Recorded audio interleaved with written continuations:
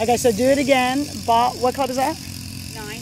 Okay, so ball position needs to be more middle. If your ball oh, position is too forward, you'll hit it later in the swing, which will make it go left Okay. for the right-handed golfer. Maybe that's what I was. Yeah? Okay, so just a little more extension, yeah? Is that different?